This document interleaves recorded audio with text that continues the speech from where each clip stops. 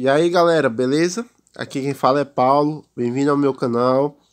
Galera, estou fazendo aqui um segundo vídeo de hoje é, para tirar algumas dúvidas aí dos inscritos referente à vara de pesca. Galera, não é somente para você evoluir a vara para o nível 3, você precisa ter a vara certa. Galera, a vara certa é essa aqui, ó. Ó, você precisa do peso. Ela, ela 3.5 ela já vem assim, eu não sei se é a minha ou alguém pode vir com peso, peso diferenciado aí. Ó, queda de resistência por segundo, ele vai vir 15. É, aí queda de resistência por segundo titãs de 100%. Galera, geralmente quando você pegar, você vai vir no nível 2, essa aqui, vai vir só até a segunda aqui. Então você para ajudar bastante, você vai precisar subir de nível para o nível 3. É, com isso, vai facilitar bastante você conseguir pegar o, chefão, o megalodonte.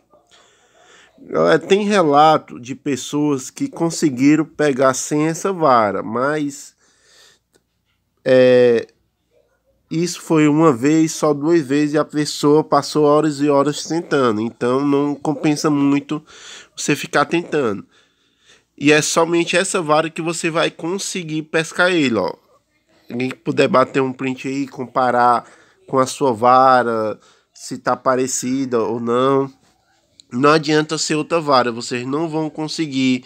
Tiver no nível 4, 5, não, vocês não vão conseguir é, capturar o megalodonte se não tiver essas especificações de vara. Ó, com facilidade aqui, ó, vou usar nenhum potencializador, tentar capturar ele aqui, ó.